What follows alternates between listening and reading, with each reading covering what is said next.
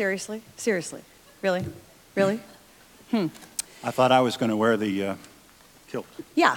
No, see, you said you didn't want to wear a kilt, so I said I would wear the kilt because somebody has to wear the kilt, right? We saw it in the video at the beginning, right, Leo? He always wore it to special occasions.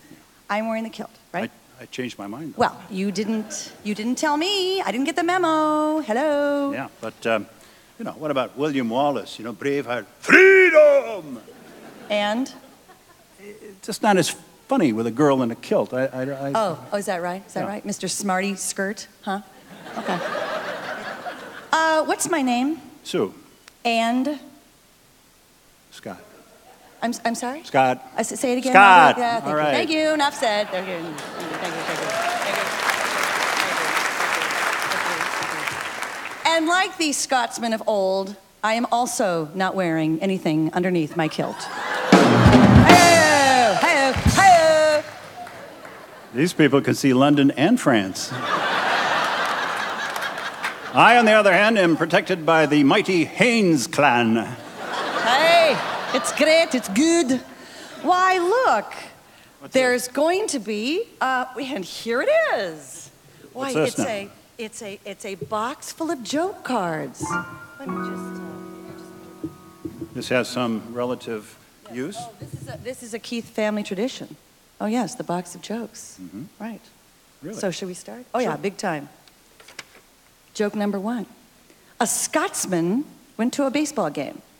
And when one batter got a walk, he lightly tossed the bat and he strolls to first base. And the Scotsman stands up and yells, Run, man, run! and the fan next to him says, No, no, no, he doesn't have to run. He's got four balls. And the Scotsman yelled, Walk with pride, man. Walk with pride.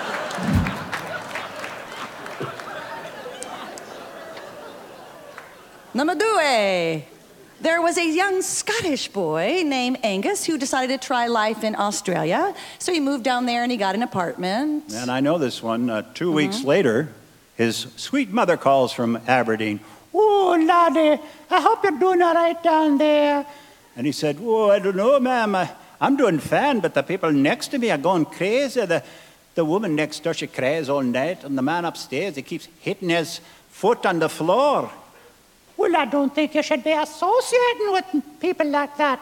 Well, I don't, ma'am. I, I stay inside my apartment all day and all night playing me bagpipe.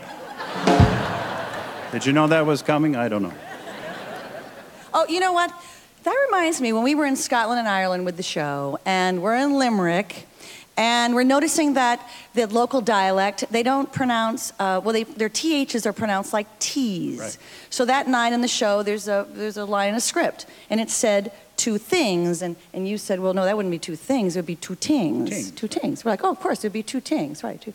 And Tom stood up and said, yeah, two tings, and then the turd. And that never failed to get us for years, to, years and years and years. And now it's time for a turd joke. We've had one and two. Here's turd. Yeah, here's turd. Okay, an Irishman walks into a bar in Cork City and says to the bartender, Excuse me, what's the quickest way to Dublin? Is it walking or driving? Well, what are you doing? Are you walking or driving? Well, I'm, I'm driving. Well, that'd be the quickest way then. A guy walks into a bar and there's a seal sitting at the far end. And the seal says, Oh, wow, you smell great. And that jacket is really good on you. And you know what? I really like that haircut and nice tan. And the guy says to the bartender, Okay, who is that? And the bartender says, Oh, that's the seal of approval. Cue Tom doing a wonderful seal that we won't even attempt. Yeah. I see we're doing things going into a bar jokes. Uh, a pork chop goes into a bar and orders a drink. And the bartender says, I'm sorry, we don't serve food here. Oh, yeah? A tourist goes into a bar and there's a dog sitting in a chair playing poker. And the tourist says to the bartender, Is that guy really playing poker? And the bartender says, Yeah, but he's not very good. Whenever he gets a good hand, he wags his tail. Ooh, Okay, a priest, a rabbi, a lawyer, a blonde, a redneck, and a dog all walk into a bar. The bartender says, What, is this some kind of a joke? A penguin walks into a bar and says, um, Has my father been in here lately? And the bartender says, I don't know. What does he look like? and you know, Tim, It's not only a penguin joke, is it? I, I guess not. Oh, did I, did I say No, I said it right. No, I said- Yeah. yeah. Oh, yeah. Okay, what? Hey. This would have been so good in rehearsal, but hey. Why rehearse when we can have fun? And I think, and Tom would have told it better. You know, Tom's father, speaking of fathers, was Pop Wiggins on the KSTP Barn Dance. Okay, and what he would do to prepare for his act, he would work out new jokes on his kids, right? Right? They, so he'd line up the kids. We got David, Jeff, and Tom and Terry, and he'd make them listen to the jokes out of the joke box, right? And if they laughed, it was in, and if they didn't, it, it wasn't. And of course, all the jokes maybe Tom and Terry didn't understand. They were kind of little, except few- the cornier ones, maybe. There were a few that Yeah. might, might have understood. Uh, what did the chick say when it saw an orange in the nest? Look at the orange marmalade. Chicken jokes. Yeah. I'm sure there were lots and lots of chicken jokes, which is probably why Tom was so good at chickens. I mean, his chickens were so good, they had their own personalities. Oh, yeah, for, for example. Emotions. Uh, there's this story about the chicken that goes into the library, goes up to the librarian and says, Book! Librarian says, Book? Book! So she gives uh, the chicken a book, and he comes back about an hour later and says, Book, book! You want two books? Book, book! So she gives him two books. Well, a little while later, he comes back in, Book, book, book! Three books, is it? Book, book, book! So now she's getting suspicious. She gives him the three novels, decides to follow him. So they go outside, they go down the road, they go through the woods, they go down by the river, down by a swamp, and there's a bullfrog. And the chicken lays the books down by the bullfrog. And the bullfrog says, Read it, read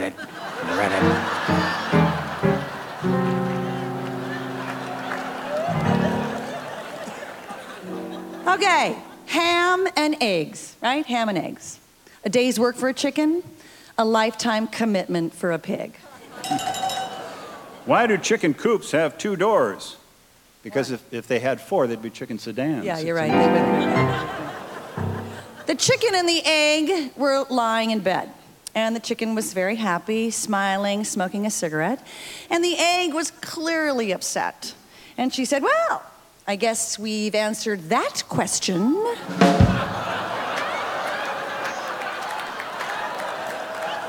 And uh, at this point, the little Keith kids, that would go over their head. That would go over their head. That would go over. And when you uh, folks get home, you'll have a lot of splaining to do to your youngsters here. But he didn't only do chickens, of course. We shouldn't. No, no, no. He did the entire fowl family. I mean, he taught us how to do geese, Canadian geese. And sometimes we do the fabric with the. Yeah, exactly. By the way, uh, why do we? Why is one side of a, a V formation of migrating geese longer than the other? I don't know why. Because it has more geese. Ah. ah. Hello. Hello. Yeah, right. Hello. And he, he taught us how to do ducks. Quack, quack, quack. Okay, okay, okay. So there's two ducks and they're swimming along, and one of them says quack, and the other one says, "Oh my gosh, I was just going to say the same thing."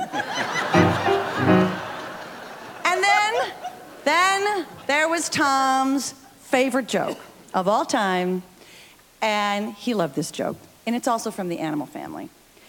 What did the boy rabbit say to the girl rabbit? This won't take long, did it?